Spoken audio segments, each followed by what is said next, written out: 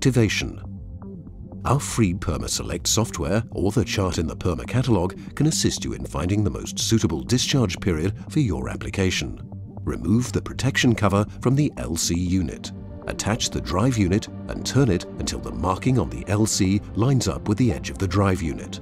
The Perma Nova lubricator lets you select a discharge period from 1 to 12 months.